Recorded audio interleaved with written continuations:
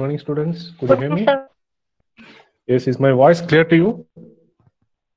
Good morning, Yes. sir. Yes, sir. Ah, okay. So we shall start the lecture today.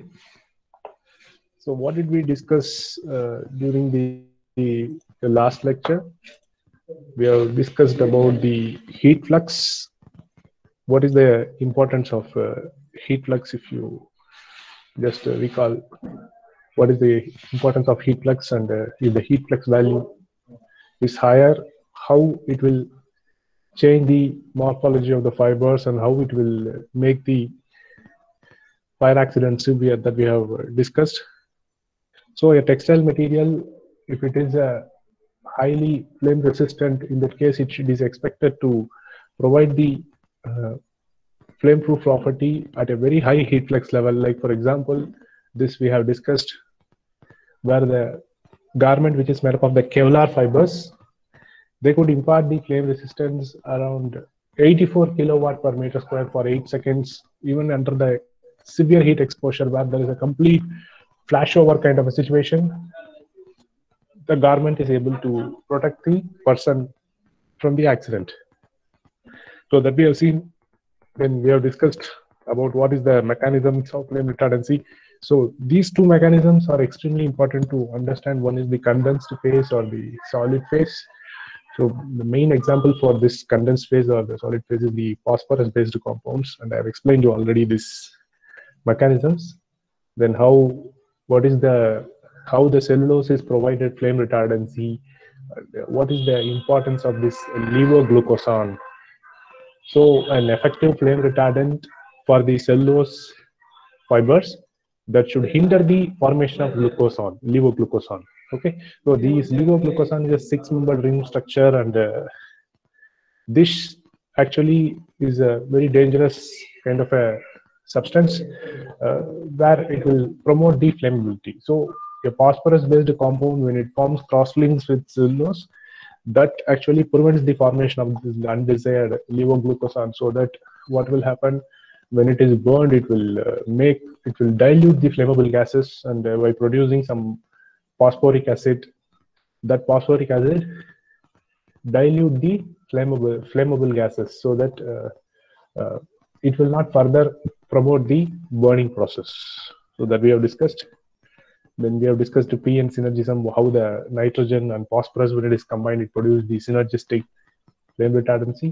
Then we have discussed gas or vapor phase mechanism and its examples like chlorine, bromine, etc. Halogens, how it uh, provide the flame retardancy. So till here we discussed yesterday. We will further go further continue our discussion on uh, flame retardant chemistry. So if you see the flame retardant finishing is usually done for fibers which are highly sensitive to flame. Like for example, cellulosic fibers like cotton, viscose rayon, or thermoplastic fibers like uh, polyester, polypropylene, acrylic, etc. So, so when you do the finishing, you just decide whether you want a temporary finish or you want a semi semi permanent finish or a permanent finish. So temporary means just you have given the flame retardancy. If you just wash it once, the finish goes away from the fabric. But semi-permanent is something which may exist, uh, which may you may you may wash it wash for some three four washes. It may sustain the chemical which is there in the surface and in the core. But uh, permanent in the sense it can be withstand the washes up to 20 washes it can withstand it will be highly durable kind of a uh, thing it will provide so if you see the phosphorus compounds which we have discussed that provides the permanent type of finish because it forms a covalent bond. The phosphorus compounds form a cross link with a covalent bond with the uh, cellulose if you just see here this forms a covalent bond with the cellulose. Okay? Similarly uh, the chemicals like uh, chlorine or bromine also gives a uh, permanent finish which will be durable to 15 to 20 washes see for example if you want to provide some semi durable type of a finish to a textile material in that case, we can use some metal oxides. Like for example, some inorganic compounds are available, like hydrotreated aluminum or magnesium oxide or uh, like antimony oxide. These compounds, if you use alone, it may not provide the flame retardancy. But if you can combine with some halogens like bromine or chlorine, or with some phosphorus-based compounds, what will happen? It forms a synergistic flame retardancy. Okay, it is a synergism when you use a chemical alone, it may not provide the flame retardancy, but when it combines with uh, some compounds like phosphorus or uh, chlorine or bromine, it can uh, start working. Okay, so how it works? It slow down the decomposition process. It will release some inert gases like nitrogen that will uh, dilute the pyrolysis uh, flammable gases which is produced, and it will impart the flame retardancy. Okay, so there are other examples of the inorganic compounds or chlorinated paraffin, antimony trioxide, aluminum trichloride, antimony trioxide. So in this, all these you, you must observe when you see the chemical structure, there will be definitely nitrogen present, phosphorus present, or nitrogen along with chlorine, nitrogen along with bromine. That kind of a chemistry it will be. Okay, it gives a, a semi-durable type of a finish. Okay next next chemical which we need to you need to know is the uh, called intumescent okay so what is this word intumescent so this intumescent it is a product where there are some mixture of chemicals is suspended in a binder. Okay? So but uh, previously whatever we have discussed with a phosphorus or uh, chlorine based compounds we do not suspend them in the binder. But whereas this intumescent it's a different type of a product where uh, it it is a mixture of chemicals that is suspended in a binder. Okay? So what will happen if you use the intumescent as a coating over uh, any material say wood or uh, as, as you you can use it as a mix it in the paint and use it in the wall also or in any kind of a material like a textile or a polymer. What will happen when that uh, chemical mm, which is suspended in a binder when it gets heated it will begin to soften. Okay? So when it uh, when it gets softened what will happen? Uh, the chemicals will react all the chemicals whichever is inside that will react to form a foam. Means it will expand the volume. Okay? I will just show you a better video for understanding for better clarity you can appreciate. So that what will happen when these chemicals um, uh, along with the binder when it is given as a coating what will happen? It will expand in the volume when it is heated. Okay? So that what will happen? It will form a when it expands it will form a when you burn them it will form a black insulating material. When you heat it it forms a char okay? This uh, char formation it is a sign of flame retardancy. If a material uh, when it burns and uh, when you try to expose it to flame and it undergoes charring, it forms a black carbonaceous material, then it means that it has imparted, imparted the flame retardancy. So for this, what are the number of chemicals you need to mix? You need to use three different chemicals. One is the ammonium polyphosphate, another is the pentaerythritol, and another is the melamine. You know about, you must have got what is this melamine? This melamine it is a type of uh, resin. So all these three chemicals are suspended in a acrylic copolymer, which is the vinyl uh, acetate type of a copolymer. You mix it, which is a binder. Okay. So this is called the intumescent. So here, if you observe, this ammonium polyphosphate from ammonia you can see remember the structure which is the nh3 and this phosphate contains phosphorus so both nitrogen and phosphorus is present here okay along with these three chemicals uh, they react to form a foam okay they release so that what will happen they release some gas to form a foam along the surface so that when it is heated what will happen immediately carbonization will occur and it will form a black uh, insulating material and it will form a char. So once you expose it to flame and remove it, what will happen? It will form charring. Okay. I'll just show you a small video, uh, some small coating here. So you can see here, this is the uh, some platform where this uh, some coating is given, uh, where the intumescent is given as a coating. So here, if you just apply the flame here, what will happen? It will form, it will expand in the volume. You can see here that uh, black color surface, which is shown here, that surface will expand in the volume. Okay, so that will promote uh, promote the char formation. So when you promote the char formation, what will happen? Uh, uh, it will uh, show it will just show a uh, carbonaceous black kind of a material which will slowly burn so that uh, uh, it is a it will not promote the flame. Okay? So that is the indication of how the flame retardant coating or intumescent coating works. I'll show you a video where you can understand for a better clarity you just observe listen to this video this is an intumescent coated fabric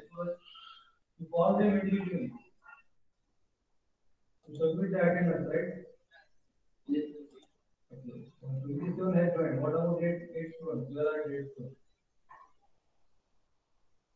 Okay. So yesterday we were discussing about the uh, post chart of living process, right? Unless you have idea or basics of uh, it's not clear, then it's uh, not uh, learn that something. So uh, entire spinning process, weaving process, and other uh, processing as well as garmenting. Now the definition of component will changed. Earlier the component will uh, they were having the spinning, weaving, and uh, processing. But now every component means they are having a garmenting. Garmenting is also one part of the textile, textile industry. So we should learn all the four processes. So, but uh, in this subject, our focus is on uh, weaving preparatory. Okay. So in weaving preparatory, that is uh, raw materials required to produce a fabric on the loom by interlacing of warp and thread. We are making a fabric. Right. So the raw material for the weaving is the beam and the weft packing. To talk about the shuttle the packing is uh, one. But nowadays, uh. See, this is how uh, the char formation uh, occurs. You may, you may have seen the first fabric which he has burnt and uh, shown it to you forms a black, blackish material on the surface. So once he removed the flame, what will happen? That uh, flame, whichever has uh, initial flame was that that got self-extinguished. Okay, it is not flame retardancy is not something where the, you continuously expose it to flame and it will uh, it should provide the flame retardancy. So when you remove the source of flame if the material uh, self extinguishes uh, then it is a flame retardant material. Okay? So this kind of char formation it is obtained from uh, phosphorus based compounds and intumescent but intumescent is something different where uh, the material when you try to heat it it will expand in the volume okay just for example if you are applying it as a coat or a paint or any kind of a coating finishing if you're giving that will form increase in the volume. And also it will simultaneously promote the char formation okay? That is how it works.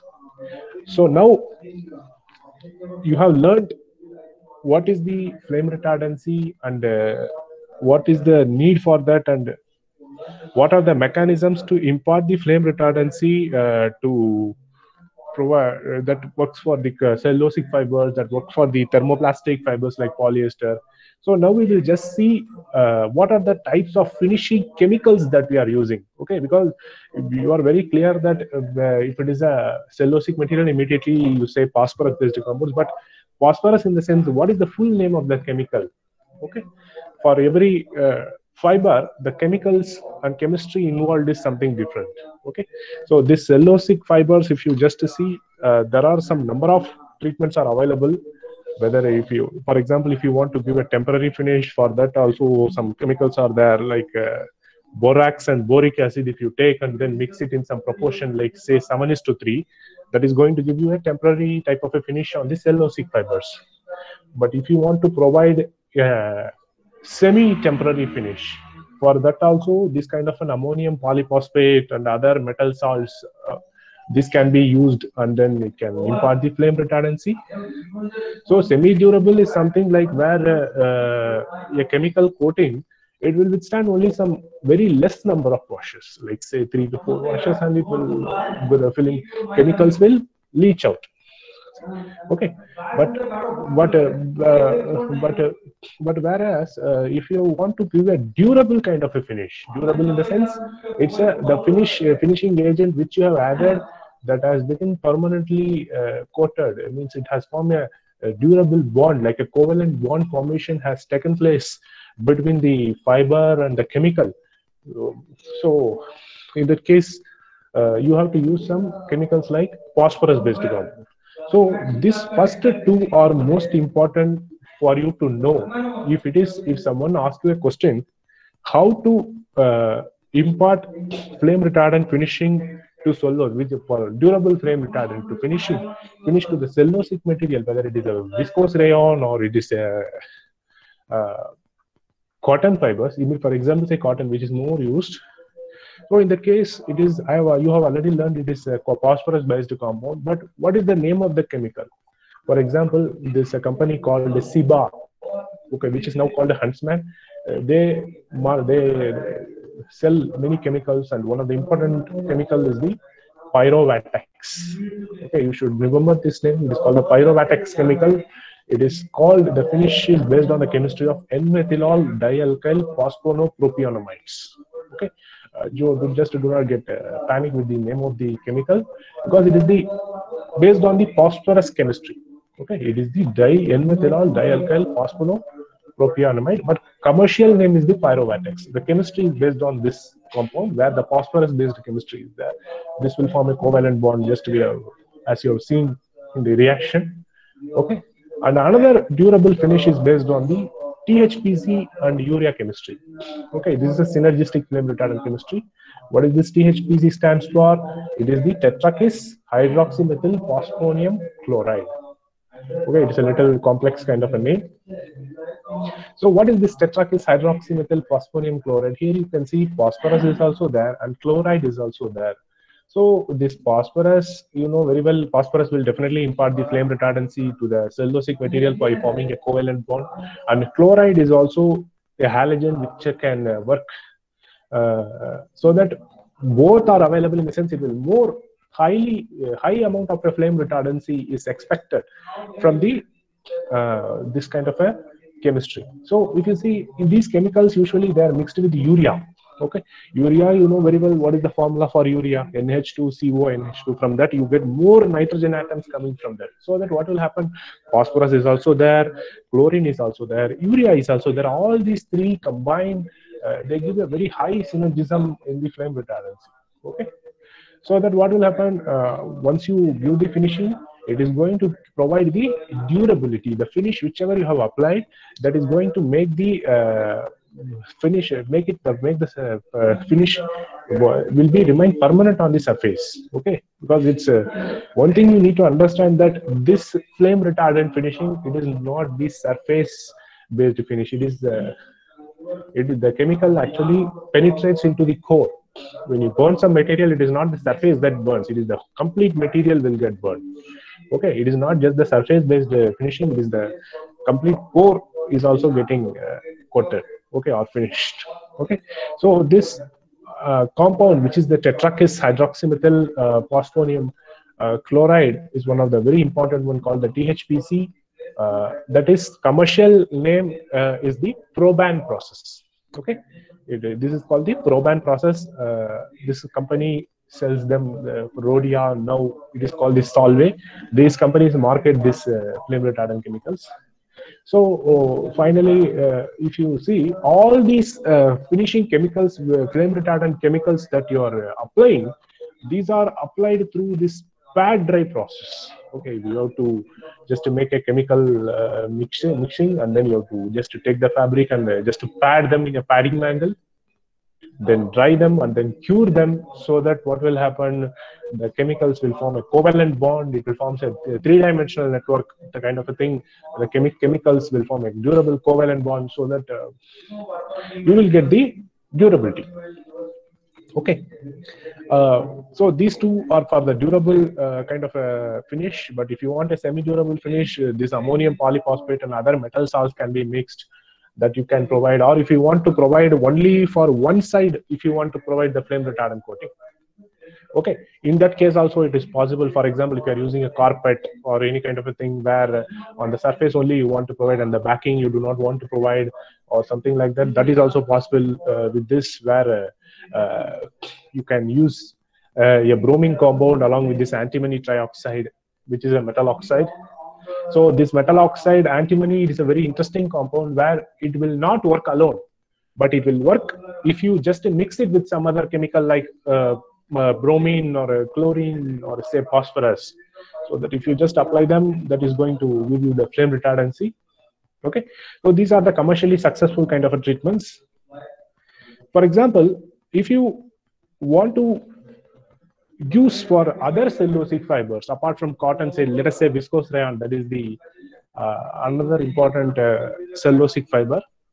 Okay for this uh, this kind of a viscose rayon fibers uh, also if you see uh, these phosphorus based compounds uh, are used but there are some companies which specially make some formulations depending upon the chemistry of their fiber. Like for example there is a, a company called Clariant, which is a very popular company in the dye stuff and chemical manufacturing company.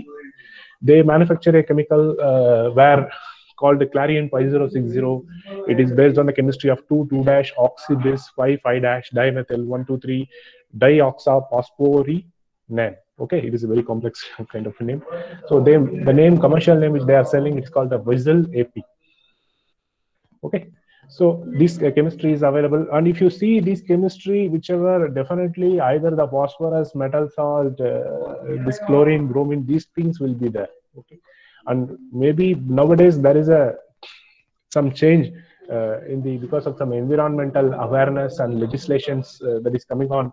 People are trying to replace the halogen-based uh, chemistry Okay, so for example, this Visil AP is a flame retardant chemical for viscose rayon and uh, it is developed by Sandoz and Lenzing. It's a very popular company. Before 30 years, they have developed and this commercially successful uh, kind of a thing. Okay, so uh, if you see uh, this chemistry, this where uh, this uh, this chemical. here you see this contains a different kind of a chemical called the polysilicic acid. Okay, it contains some silica. Okay, so that uh, this silica what is the use why we use this uh, polysilicic acid when uh, you, when with, uh, rather than uh, say phosphorus or anything? So here the silica actually uh, it the presence of silica in the chemicals this will ensure that when the fabric becomes burnt that will promote more charring. It will form a ceramic char okay. So that up to 1000 degrees also temperature also this can impart the flame retardancy okay. Uh, so uh, this is for the cellulosics like cotton and uh, viscose rayon we have discussed. Now we will discuss on polyester. Already you have learned that phosphorus based compounds mainly it is used in the cellulosic fibers but for uh, polyester fibers uh, the main thing to note is polyester uh, it's a little uh, unsafe fiber when it comes to uh, flame uh, when it is exposed to flame because the polyester will melt and it will drip so that what will happen the person when uh, person who is wearing a polyester based garment so if he faces an accident that melting or dripping it is going to make the life miserable. That is going to create a great accident and uh, leads to death also. So the main thing in the polyester uh, fiber is the chemical should reduce the thermoplasticity. Okay it should not allow to melt or drip. Okay so that it should provide the promote the char formation okay. So for the poly when it comes to thermoplastic fibers immediately what should come to your mind? You should you mainly main thing that should come to your mind is the halogen. Okay. Halogens like chlorine or bromine should come to your mind which works in the gas or vapor phase which we have discussed in the previous lecture in detail. Okay. So from the 1977 1970s you see observe uh, the chemicals like tris bp tris 2,3 dibromopropyl phosphate this is based on phosphorus as well as the bromine this came into being and uh, some developments have taken place because the, this chemical uh, contains a very high amount of halogen Okay, these halogens will definitely uh, work in the gas phase. It will uh, uh, how it will work. I have already explained you. Just if you recall our previous uh, discussion, I will just show you a figure.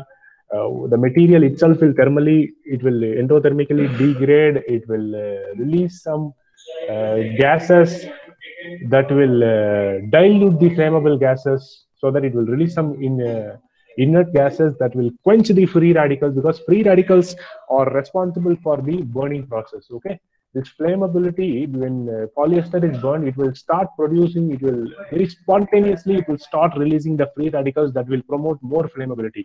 These chemicals like bromine or chlorine it will quench the free radicals so that what will happen uh, this will dilute the flammable gases it will prevent the oxygen diffusion. So that what will happen the flammability is prevented. Only the char formation is promoted.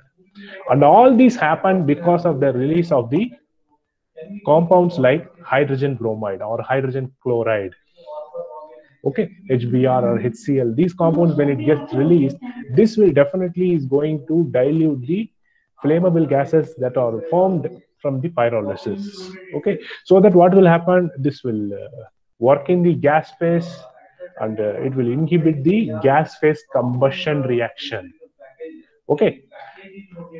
So there are other chemicals also with the time the, there is a development there was a development in the chemicals that came into uh, picture like uh, tris 2,3 dibromo 2 methyl propyl phosphate and uh, tris 2,3 dibromo 2,3,3 dash uh, uh, di, uh, uh, dimethyl propyl phosphate. Like that there are there are some improvements in their chemistry where the formulations they have changed they have reduced the amount of bromine they have increased the amount of phosphorus they have changed some other they have incorporated some other chemical.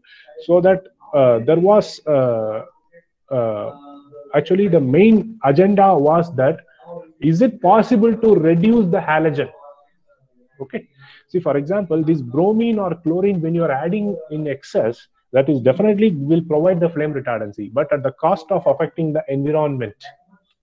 Okay. Because these halogens if you observe these halogens uh, are uh, little problematic. When it uh, when it, the halogen is discharged discharged in the river. For example if uh, it goes to the uh, water stream what will happen is uh, it will increase the aox levels called ab- adsorbable organohalides. You can just uh, uh, refer this aox this will create more uh, pollution.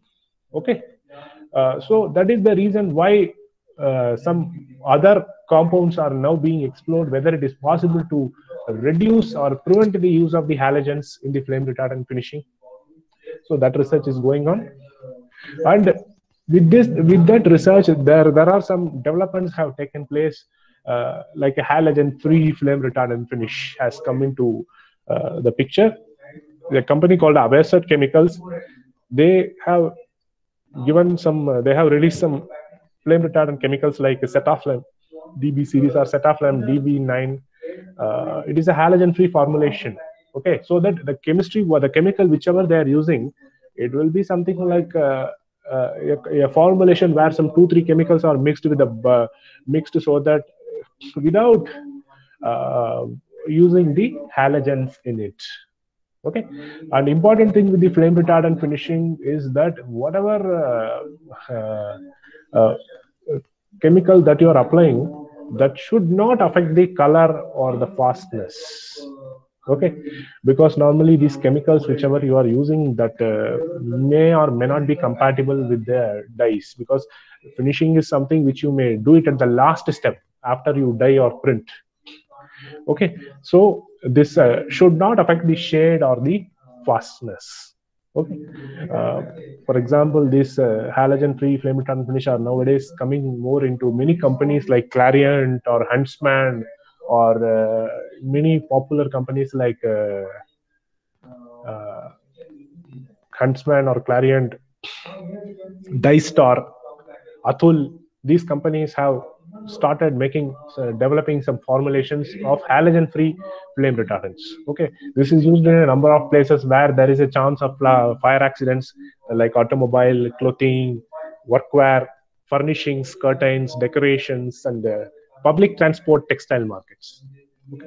So there are a number of uh, mm, uh, applications where this can be used. Okay. So now we will see for flame retardant finish for polyester cellulosic blends. Okay. Previously we have discussed only for cotton or only for uh, viscose rayon or only for polyester. But if you see in the apparel aspect, uh, we do not use uh, polyester alone or cotton alone. Very rarely we use kind that kind of a garment. We, normally we use a blend, whether it is a polyester wool or a polyester uh, viscose or a polyester cotton, etc. So here, this uh, polyester cello- uh, cellulosic blend, uh, importing flame retardancy, it is not easy. Okay, because it's uh, very important for you to know this. Why it is not easy? Because you see, polyester it is a thermoplastic material. Cotton it is a non-thermoplastic. So both of both of them uh, are mixed together to make a garment or a fabric, a technical fabric. So what will happen is if you apply the flame, expose it to flame, one component will be fusible and other component will be char forming. Okay, so that what will happen? The compound, whichever is fused, that will get uh, that will be hold by held by the char forming component so that what will happen? The melt dripping will be prevented but what will happen? Uh, cotton for example it will uh, form char when you apply the flame retardant finishing but uh, polyester uh, it is fusible so that the fusible component will be holded holded by the uh, held by the char forming component so that what will happen? When the flame is propagated it will burn intensely. Okay like a scaffold it will form some ladder type of a scaffold type of an effect it will produce so that what will happen? Uh, it will intensely burn. Okay rather than burning the single compound it will burn both the compounds very intensely.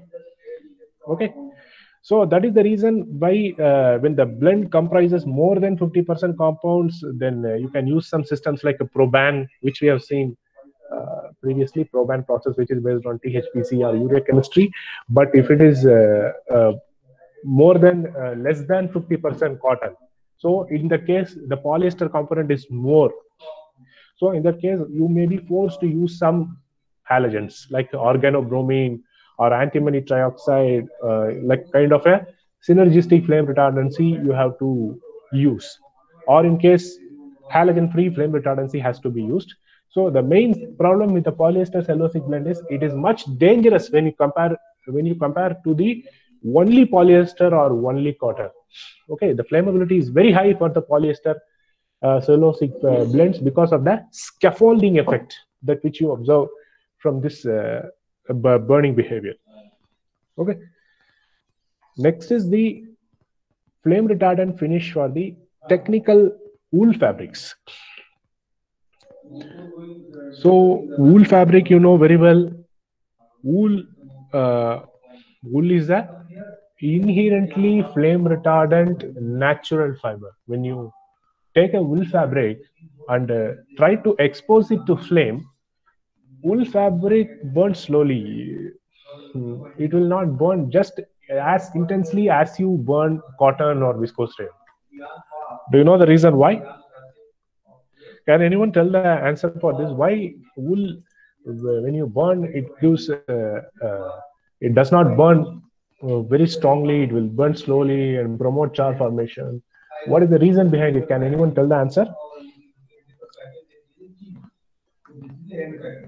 Have you observed this anywhere? Uh, in your home, you can make an experiment. You can take a cotton fabric and you can take a polyester fabric. You can take the polyester blend fabric. You can take the wool fabric. And if you try to burn the wool fabric, wool fabric uh, do not burn as fast as you observe uh, in the collagen or polyester. Have you observed this phenomenon? If not, you can try doing this. But can you answer? Uh, can you answer why uh, the wool is inherently flame retardant? What is the reason? Sir, uh, wool is protein fiber and uh, cotton is cellulosic fiber. That's why. Uh, no, protein fibers uh, also uh, burn very intensely. For example, if you burn silk, silk will also burn. But what is the reason? Not it is not because of protein or uh, uh, cellulose. That is not the reason. What is the reason for that? Can anyone tell the reason? Prashant is telling LOI value is high. Why the LOI value is high? Why the cellulose burns very rapidly and uh, protein, uh, sorry, the wool fibers, uh, why it burns slowly? It is it has a good LOI value. That is correct. LOI value is higher for wool when compared with the cellulosic fiber like cotton or viscose rayon. Then why this wool has a good flame retardancy? By naturally, why it has a good flame retardancy? What is the reason behind it? Can anyone tell the answer? Uh, sir, uh, because wool has the uh, uh, many numbers of nitrogen and sulfur. Uh, yes, yes, fine. Uh, yes, you are coming to the answer. Yes, yes, good. Akshata, come on. Uh, then what else? Uh, it contains uh, nit- uh, nitrogen, sulfur, and uh, Ah. some amino Okay, okay, okay. This one part of the answer is correct. Can you tell more in detail why it uh, burns slowly? What is the reason for that? What is present in the wool? Apart, yes, you are right. Nitrogen and sulfur is there. Very perfect. Keratin What- protein. keratin protein no amino acid no see just if you see the wool fiber i will just uh, uh, just to draw one uh, figure see if you see uh, the wool fiber wool fiber uh, uh, if you see what is present in the wool if you see the wool fiber what is present in the wool fiber? Can you tell me? It is held by the it is held by the ss ss okay. It is the disulfide linkages. It is covalently bound. Okay that is the reason. This wool structure if you see wool fiber has the disulfide linkages as akshata has told very nicely it is the nitrogen and sulfur content is more. That is one of the very nice examples she has given.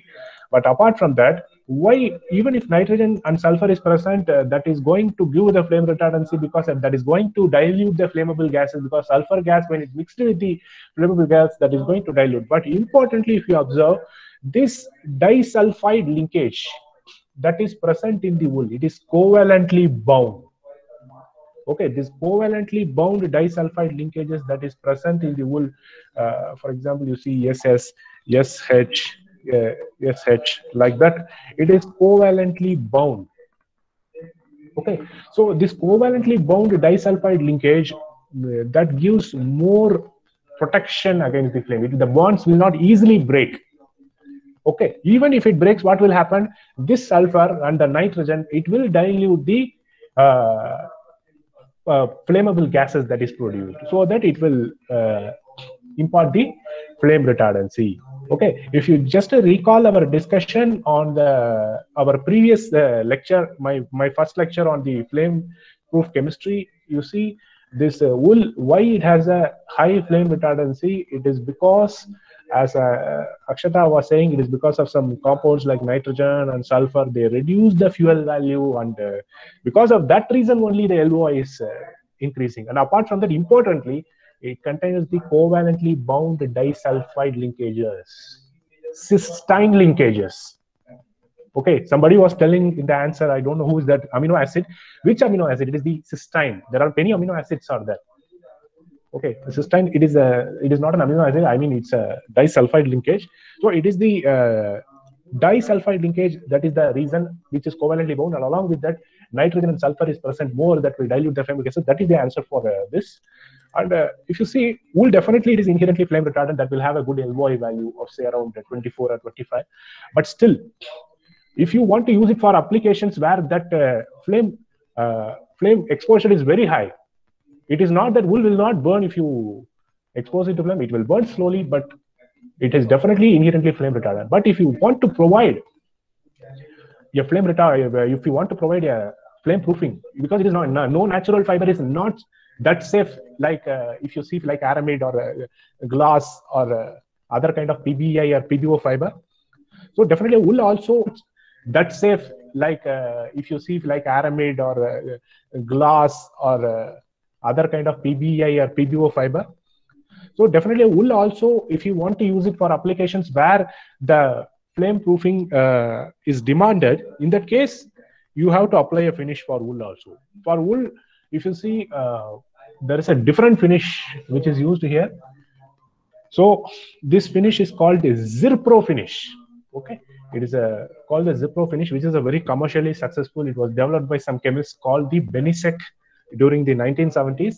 They used some two different metal uh, metal and fluoro compounds like a hexafluorotitanate and hexafluorozirconate chemistry. Means hexa in the sense you know very well six membered ring with the chlorine full of chlorine and titanate. It is a type of a metal and zirconate.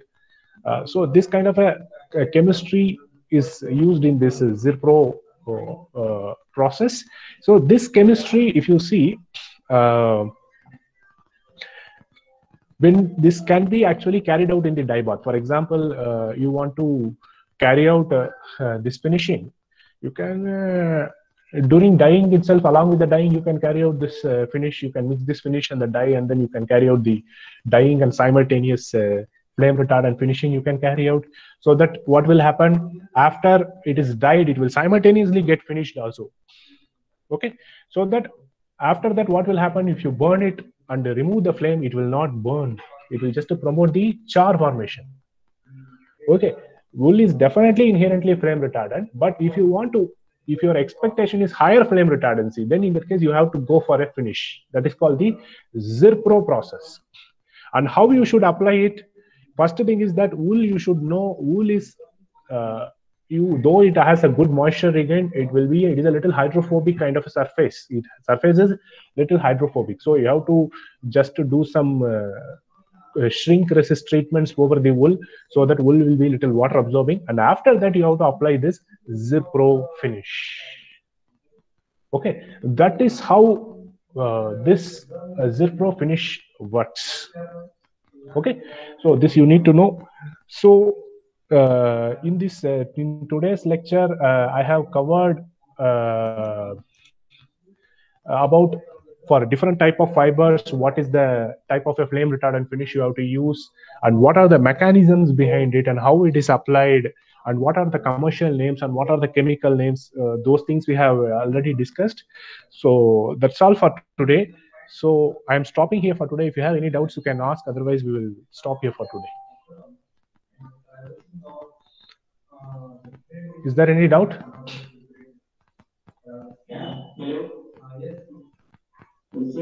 No doubt. Fine. So okay fine. Then uh, maybe in another two lectures we could be able to finish this uh, unit.